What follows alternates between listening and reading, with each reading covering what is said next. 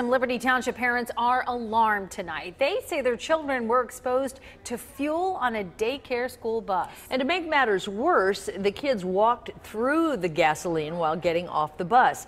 Butler Warren reporter Jay Warren is live at the daycare center with the story you'll see only on 9 on your side. Jay?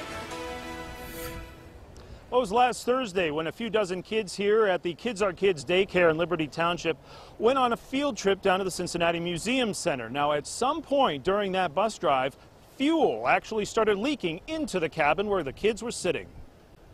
Latia Watson has a seven-year-old daughter who attends Kids Are Kids daycare on Princeton Glendale Road in Liberty Township. She said this weekend she started smelling gasoline in the house and went on a search. The scent takes me into my daughter's bedroom into her closet, her book bag is on the floor.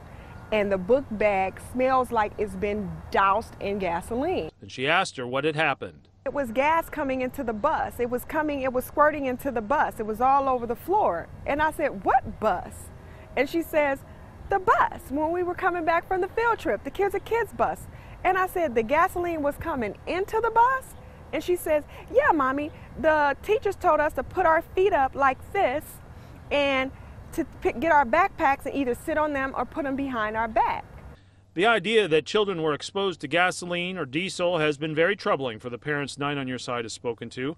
I went to Kids Are Kids today to get an explanation as to what happened. In a statement, Kids Are Kids said, quote, the passengers on the bus were a mixture of children and adults, which included parents and staff. No one on the bus was aware there was a fuel leak until exiting the front door of the bus. Kids Are Kids said that the bus driver was terminated, however, because he should have opened up an emergency door to allow the kids to get out once they had slipped on the gasoline going down the stairs.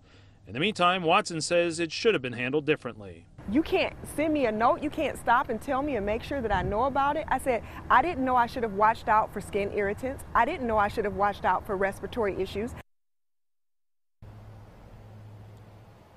Now, today I contacted the Ohio Department of Job and Family Services. They tell me that Kids Are Kids did not self report this incident as they are required to do. In the meantime, the parent did notify ODJFS about this situation, so a complaint is open, and now state officials will be down here in the next couple of days to investigate. Jay Warren, 9 on your side, Liberty Township.